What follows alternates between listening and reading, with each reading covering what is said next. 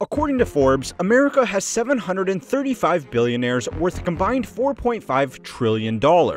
But how many billionaires are there really?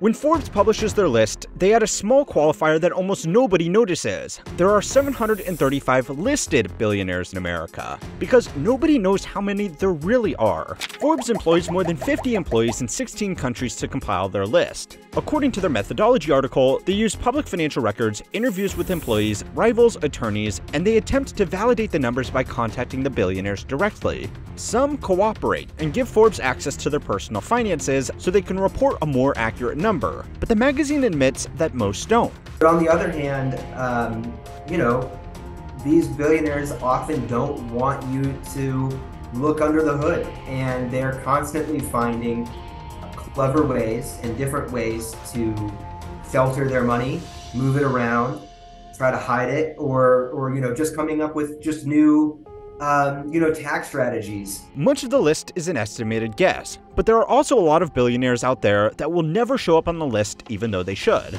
The list is really a, you know, a list of individual billionaires rather than, you know, widespread family fortunes. And the same thing for people asking about Vladimir Putin or, or things like that. It's hard to break out where money is so intermingled with the government. One group are the crony government leaders using their country's central bank as their own personal credit card. But I think there is another group that is even more interesting than that. Forbes and Bloomberg, who both get a lot of online attention from their billionaires list, have behind closed doors admitted that they have no way of keeping track of the most common type of American billionaire. In an interview with the New York Times, Kerry Dolan, the editor who oversees the Forbes team responsible for the annual list, gave a profile of a billionaire that they would never be able to find. She told The Times that it's someone who quietly sold a stake in a business for, say, 250 million in the 90s and then invested it well. That's it. That's all there is to it.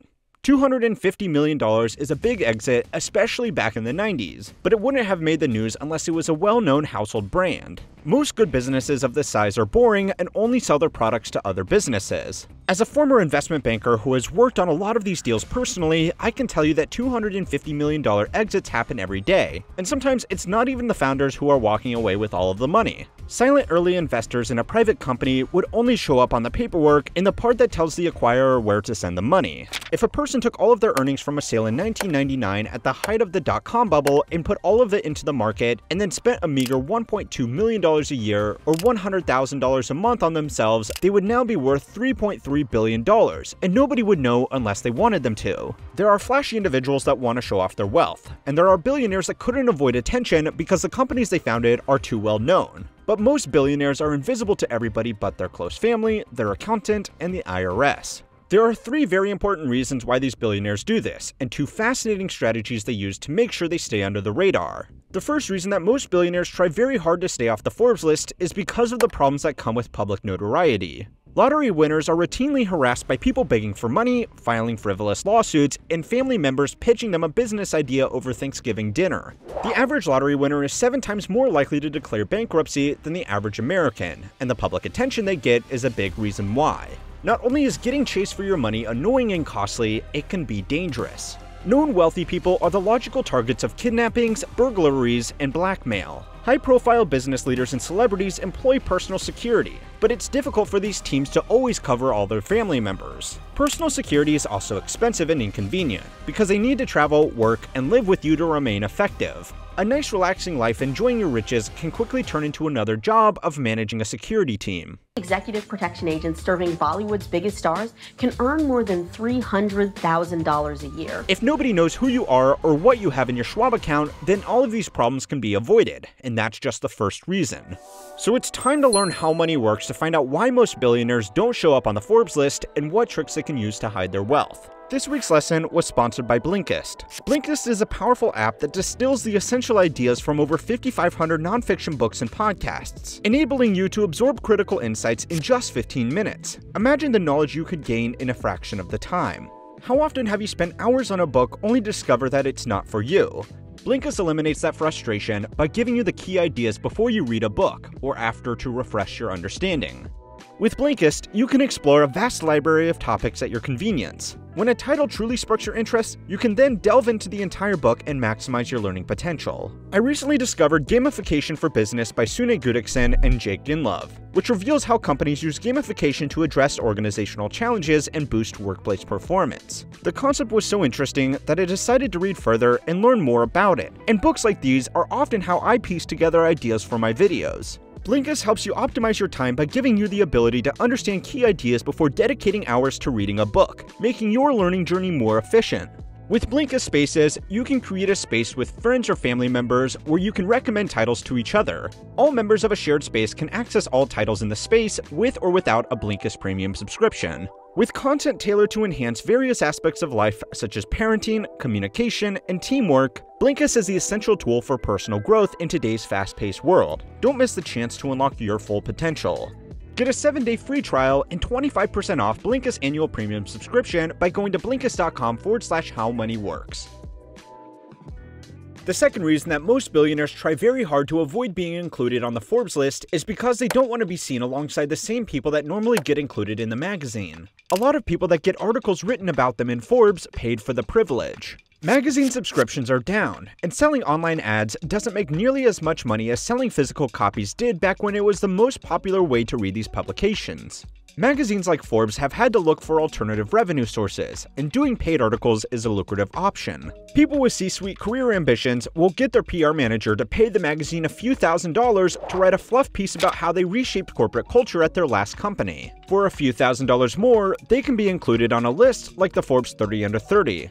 Most of these lists are comprised of people that paid to be there, with a few big names like Sam Bankman-Fried and Martin Shkreli smattered in to give the list some credibility. It was once an honor to be among Forbes' annual selection of 30 innovative business people under 30 years old. But in recent years, more and more individuals who have appeared on the list have ended up behind bars. Forbes reports on a lot of people that want attention because they are the easiest people to report on. Business people normally only want attention if it serves them in some way. Linking a Forbes article on your resume and LinkedIn profile could be a good career move and worth the few thousand dollars it costs, but for people who are already rich, it looks like they are desperate for attention. There is no way to tell who was written about in Forbes on their own merit, who was written about unwillingly, and who was written about because they paid for it. Established billionaires don't want people to assume it's the latter, so they just avoid media attention altogether. The other group of people that pay magazines like Forbes to write about them are scammers that make their money by selling online courses or cryptocurrency projects. If you watch some of their ads, you will see that they brag about being featured in Forbes or Money magazine, which gives them a lot of credibility, and they can win over some skeptical customers. Most people will think that magazines like this wouldn't play any part in promoting a scam, but they would. Could it be that the Forbes 30 under 30 list really just attracts entrepreneurs who really don't have a legitimate business just to land on their list for social proof? The business people that billionaires work with every day know about this paid publicity, so for them showing up in Forbes is a mark against someone's business case. The third reason that most billionaires avoid publications like Forbes is plain old selection bias. The people getting featured in Forbes magazine are usually at the height of their careers or business success. After that, there is a long way to fall and not a long way left to go up. The people that are heads of major companies or members of high profile families can't avoid it, but anybody that seeks out attention knows the risks, and does it anyway because they like the attention. People with these character traits will long term be less likely to manage their wealth and their business effectively they will be more likely to take large risks and be overly assured in their own business skills. People like Kevin O'Leary would be a lot wealthier today if they had just invested their early career winnings into the market and then did nothing else. Someone's financial success becoming public information can also turn a lot of their customers off their brand. People like to support small family businesses over soulless corporations, but if they find out that the owners are already billionaires, their customers' loyalty will not be as strong.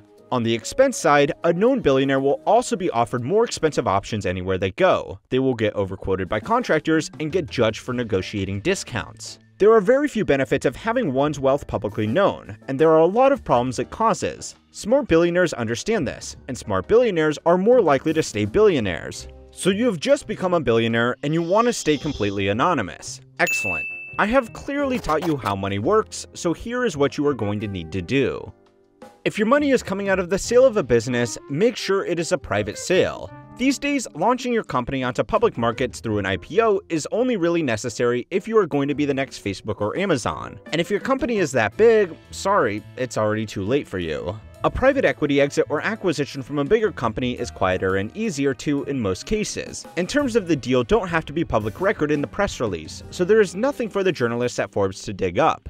Once you have secured the bag, you should then invest it broadly in the market and avoid putting too much money into any one company. If you own 5% or more of any public company, you must file what is known as a Form 13D with the SEC. 13Ds are public for anybody to see because the SEC wants investors to be aware of who the biggest shareholders are in a public company. If someone with more than 5% of the company's shares needed to sell quickly, they would push down the stock's price significantly. Investors should pay close attention to who a company's top shareholders are, because if it's the people that will be in a bad financial situation personally, it will be bad for the stock price even if the business fundamentals are good. As a billionaire that values their privacy, you would be best served to limiting any individual investments to no more than 4.99% of the company's shares. This has the additional benefit of making sure you are diversified as well. Another way the SEC can snitch on you to Forbes magazine is through a Form 3. This must be filed if you own more than 10% of a public company, or if you are a company officer like a CEO, CFO, or chief legal counsel. A Form 3 also needs to be filed if you are a company director, so if you want to stay hidden, don't take too many of these positions. You can have a billion dollar portfolio, and only the holdings you have in the companies you are a director of will be public. So if you want to sit on a few boards, you can, but it will put your name out there. The other way that your wealth becomes public knowledge is through lawsuit discovery. If you get sued, anything that gets turned up by the lawyers is entered into public record, except for in the rare circumstances that evidence gets sealed. The best way to avoid lawsuits is to avoid attention. So as a new billionaire that's trying to stay out of the public eye, you are already doing everything right. Billionaires will also take advantage of holding companies and trusts set up in states that have strong asset protection and privacy laws like Nevada and North Dakota. If you live outside of America, you should consult my video on the Panama Papers to find out how the global billionaires get it done. Once you have the accounting set up, the next step is to just avoid the ostentatious displays of wealth. You can still live in a beautiful home, just make sure it's in a private area and that it's not the most expensive in the area. You can still drive a nice car, but don't post about it all over social media. You can still fly private, but don't put a logo or name down the side of your plane. Your best defense is being too boring to write about and for your actual wealth to be too difficult to verify. If you ever get a call from any of these publications, just laugh quietly and tell them that you wish you were worth a billion dollars and that you would prefer that they didn't imply that you were because that would be materially inaccurate. If they have no way to definitely verify your wealth, they won't risk adding you. Now, the first step in this is obviously becoming a billionaire, and I don't have the best answer for you there. But to find out how some influencers are trying to get there, go and watch my video on influencer businesses and why they are a lot harder to turn into billions than any other business. A special thanks again to Blinkist for making it possible for everybody to keep on learning how money works.